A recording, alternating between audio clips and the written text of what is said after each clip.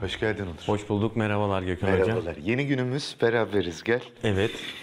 Dün e, burada annenin olduğu dakikaları düşünüyordum. Evet hocam. E, yan yana e, bir ömür geçirmek gibi e, sizinki.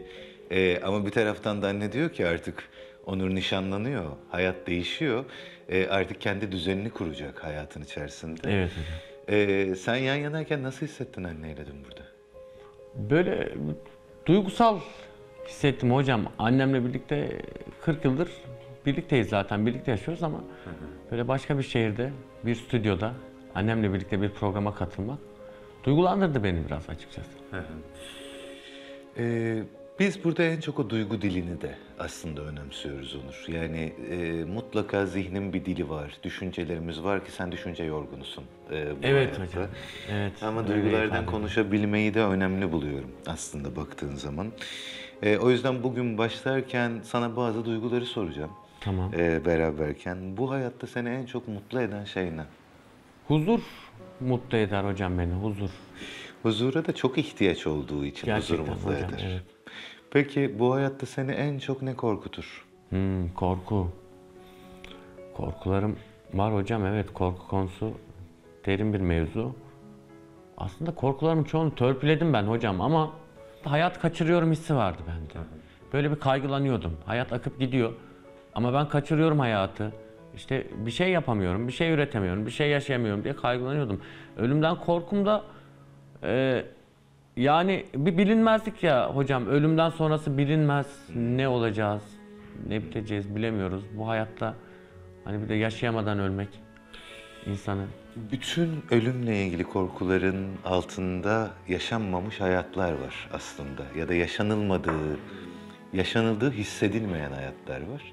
Evet. O yüzden hepimiz için ortak. Peki bu hayatta seni en çok ne öfkelendirir?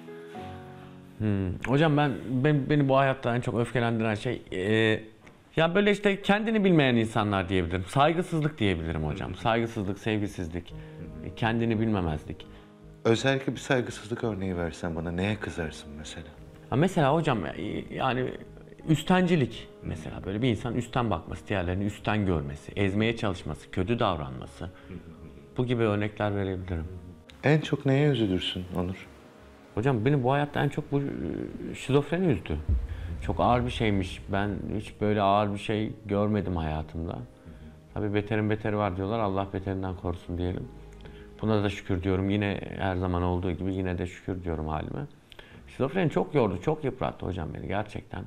Yani tam gençliğimin baharında tabir edilir ya. 23 yaşımdayım. Üniversite okuyorum. Hayallerim var. Üniversiteyi bitireceğim. Bir işe gireceğim. İşletme okuyordum. Bankacı olacağım.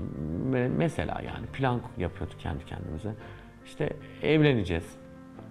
Mesela öyle olacak, böyle olacak vesaire. vesaire. Evdeki hesap çarşıya tutmadı hocam. Bir söz vardır biliyorsunuz. Hayat siz onun hakkında planlar yaparken başınıza gelenlerdir diye. Benim de böyle oldu. Hiç ummadığım bir anda, hiç hesapta yokken başıma bu şizofreni durumu geldi. Çok yıprattı beni. Gerçekten çok zorlu bir süreçti. Zorlu yıllar yaşadım. Ama büyük oranda atlattığımı düşünüyorum. Kabustan uyanmış gibi hissettim kendimi.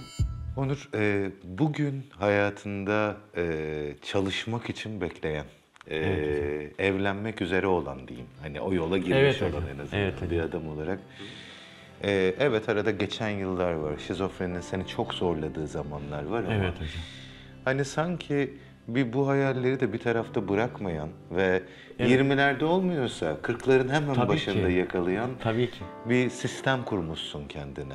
Bugün iyi olduğum bu süreçte ve uzun zamandır da iyisin zaten. Evet hocam. Ee, Çok şükür iyiyim. Neler kaldıysa köşede, hangi insanlar neleri duymadıysa, sen bu hayatta neyi arkada bıraktıysan, bastırdıysan, neler engellendiyse al onları bir gözden geçirelim yeniden. Hani bu program sınırında değil ha. Bundan Tabii. sonrası için de Tabii söylüyorum. hocam. Anlıyorum. Zorlayıcı, yıpratıcı bir süreç.